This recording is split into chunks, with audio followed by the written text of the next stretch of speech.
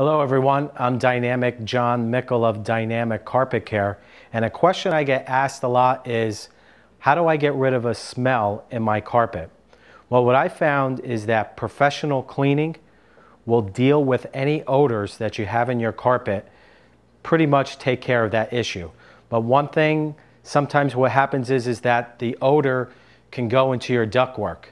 What I mean by that is you're gone for a few days and maybe you left something in your trash can or who knows what else. You left an old sandwich out.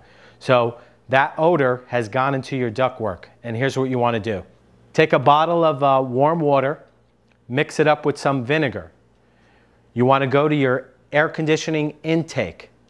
You go there and make sure your air conditioning is on, of course and you want to take your bottle of uh, warm water and vinegar that's mixed together and mist it into the AC intake. What that'll do is it'll suck up that mixture, the vinegar and water, into the AC ductwork and kind of flush out that odor if it's in there. So I hope this helped with you dealing with the smells in your carpet. If it didn't, contact a local professional and get that carpet professionally cleaned or they can help you with the issue or you can reach me personally at www.dynamiccarpetcaretampa.com.